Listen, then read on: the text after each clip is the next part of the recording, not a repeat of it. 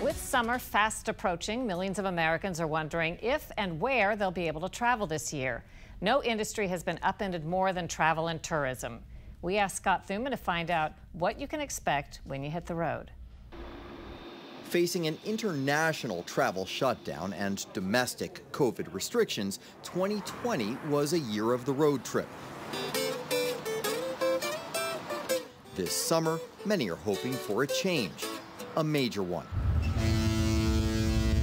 travel spending was down 42%. That's nearly $500 billion, seriously hurting the 11% of Americans whose jobs are tied to the industry.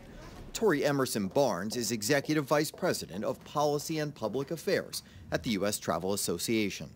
We still are seeing travel uh, down significantly. And while we are starting to see a rebound in domestic travel, uh, international borders are still shut down and uh, business travel and business meetings and events are not happening and they're not going to be for some time. And that really is a significant part of the travel industry.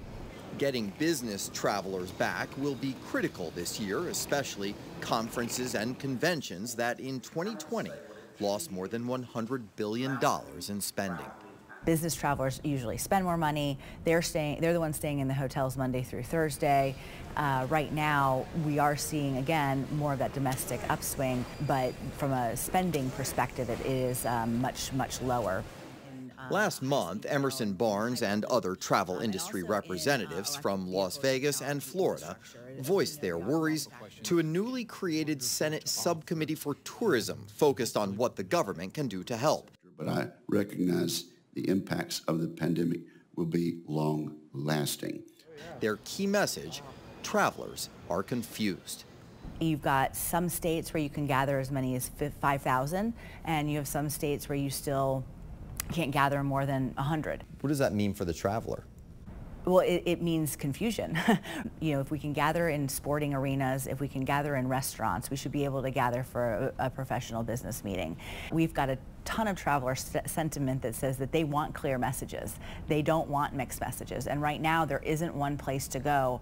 Uh, and even if you do go to the CDC website, there's so much information that it's really hard to distill where you can and cannot go. When it comes to international travel, that remains largely shut down. There's a big push by the airlines and travel industry to get governments to speed up and open routes between countries with low numbers of cases. We're looking at a U.S.-UK corridor as the best way to start to open up international travel. How soon could that happen? We are pushing for that to happen in early July. We think it makes sense to start with the U.S.-UK corridor and expand out from there with other low-risk countries. Really, it's critical from an economic standpoint. How encouraged should we be seeing United Airlines adding new international flights to Greece and to other places?